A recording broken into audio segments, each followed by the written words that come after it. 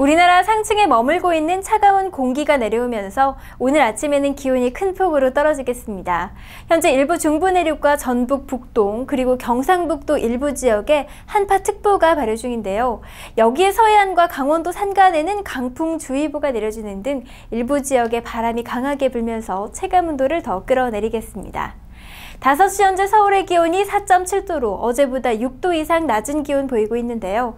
대관령 지역이 영하 0.5도까지 떨어지는 등 일부 내륙 지역은 오늘 영하권의 기온을 보이겠습니다. 이번 추위는 내일 아침까지 이어지다가 낮부터는 점차 평년 기온을 회복하겠습니다.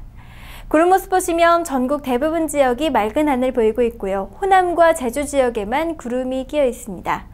오늘은 중국 중부지방에 위치한 고기압의 영향을 받겠습니다.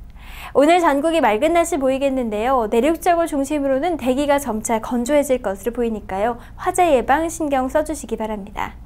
오늘 한낮에 서울과 강릉이 15도까지 오르겠고 남부지방은 전주와 대구가 14도, 광주가 15도로 어제보다 춥겠습니다.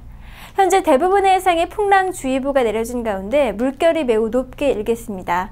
진도 해상은 오늘 구름만 지나겠고 물결 점차 낮아지겠습니다. 다음은 내일과 모레의 날씨입니다.